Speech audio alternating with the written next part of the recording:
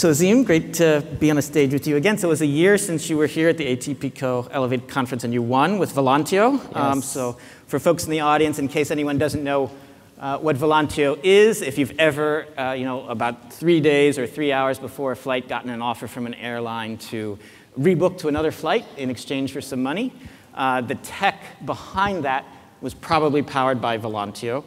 Um, and uh, we were talking backstage, and Azim was mentioning that you know many people in this room have focused on revenue managing up to the moment of booking, and Volantio is sort of taking it to the next stage. So, what, what would you have to say about that, Azim?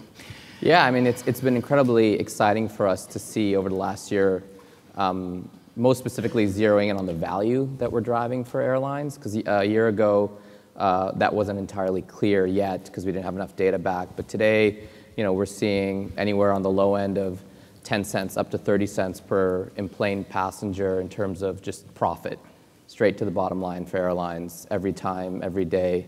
Um, it's a mind-blowing number. Yeah, and it's, it's pretty amazing. That's not just on flights that they take action on. That's on their, um, you know, that's, that's system-wide, so that's pretty cool. Cool.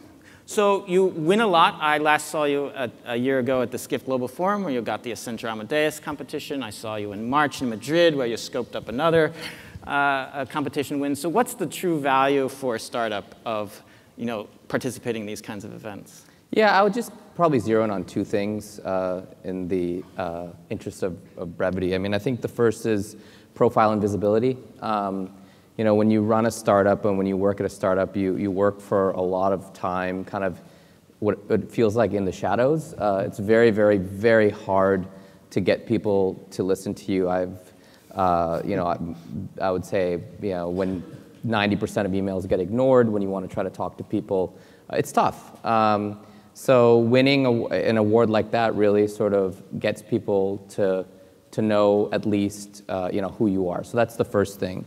The, uh, the second thing is really kind of um, education for the industry around the value of what you do, you know, um, and, and having that ability. That's one of the th- key things that we've seen that's come out of winning those awards is the opportunity to talk and, and really evangelize about, hey, there's this awesome thing out there and that, um, you know, maybe you, you haven't had the opportunity to take advantage of it yet, but here's a startup, um, you know, that, that can help you do that. So, you know, for us, you know, maybe a year ago, um, there was not a lot of clarity in this space, but today, luckily, after winning these two awards or three awards, you know, we've really established ourselves as the undisputed leader uh, in the space of, of post-booking revenue optimization, which is what we're doing. So that's, that's pretty exciting. Cool. Uh, so Volantio has taken corporate venture capital from uh, JetBlue, uh, IAG, Qantas, uh, most recently Amadeus. So what is your strategic thinking there? Yeah, look, I mean, it's obviously a dual-edged sword um, to take uh, uh, capital from, you know, the, the, the, industry. I mean, we've been fortunate we've gotten backed by the four largest corporate venture capital arms that are, that are out there. Um, and, you know, we were very thoughtful and careful around taking that money. Um, I think the things that you get, so in terms of the, the pros, is you, you know, you get uh, credibility, um, you get connections from the, the folks there that are able to make introductions for you. Um, and, and most recently for us, you know, at least through the partnerships that we've had with Amadeus and others, that you've really had a lot of help um, on the product side as well mm-hmm. to really think through um, what, what, what do we need to be doing to, to really um, elevate, to use a word, uh, you know, what it is, you know, um, you know, our product. Um, I would say on the con side, it's very time consuming um, raising capital, especially from corporates. Um, they're not as uh, nimble, uh, I would say, as the typical venture world. They can take their time. As I mentioned, we were fortunate the, these firms looked at us and a number of our competitors and they chose us, and we're very humbled by that. Um, but, uh, but, but that's definitely a con, the time it takes. And the second thing I would just say is that um, our advice to the startups out there that are looking at doing this is don't take uh, corporate venture capital from one firm if you're going to do it. It's better to get no corporate venture capital than get it from one firm because then they kind of own you. Um, Whereas, so, so, yeah. so if you're if you're tied to one supplier, then other suppliers might not want to work with you. Is that the idea? Or? Yeah, yeah. Mm-hmm. Or they can start extracting most favored nation clauses and other sort of funny business. And okay. and we were very clear um, because we had four people backing us. We said, look, we can't we can't do that, and that was very very helpful to have a bit of a bulwark uh, against each each other. and everybody plays pretty well together in the sandbox um, when we have four people together. Okay.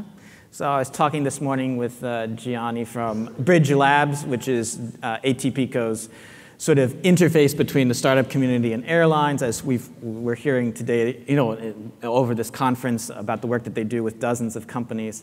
Uh, so in the past six years, like there, there's been this dramatic growth from like five to about 23 accelerators, incubators, mentoring sort of programs. What is your advice either on the startup side or from the, the, the organizer side about how to make the most of these opportunities? Yeah. So just a couple words to startups. I think the most important thing that we've found to be useful, and again, I'm not saying that we're the experts yet. We're fortunate to have had a little bit of, of success here, but um, uh, is just be really focused. Uh, you know, there's startups, some of them are competitors of ours that want to try to do, you know, six different things. They say, well, you know, we're going to build chatbots, we're going to build this, we're going to build that, you know, but we, we really think that it, it's important to be very focused on, on one thing and to do it really well, and that's what we've done. So in terms of working with the corporates, if you're very focused on one sort of core value uh, area, we found that to be useful from the startup side. Um, from, from the corporate side, I think the, the question is, are you, are you, do you really want to do this? Or is this mm-hmm. just a nice press release that you're putting out? You know, what is the true purpose of what you want to do? Because we've seen it both ways. We've seen corporates that have, have made this investment but then ultimately kind of shut it down or something, and we have seen others that have actually stuck it out. And the ones that have stuck it out have focused on the things that are be- under the hood that are most important to innovation, things like procurement and contracting and um, and and, uh, you know, and and all the processes that are required to like bring startups in, like the, the messy stuff like indemnity clauses and limitations of liability. You know, we've tried to talk to large airlines that have said they want unlimited liability from our company. We're never going to be able to do that, which means that they're never going to be able to bring us in. So that's my advice to those startups. Go talk to your procurement departments in other areas and see if they're going to be able to actually, if they really wanted to, to innovate. Um, and at the, my last point, and this is a very simple one on that, that area, is that it right. starts at the top. You know, mm-hmm. I would say IAG's probably done the best um, uh, work. At the top, you mean like C-suite structure? Yeah, uh-huh. like, and that's really comes from Willie. Uh, mm-hmm. Willie Walsh said that he wanted Hangar 51 to be successful, and um, you know, in our experience, it, it has been, um, and that's why it continues today, and it's it's it's kind of a model, um, and and we've done a number of them, so we really speak very highly of that. Okay.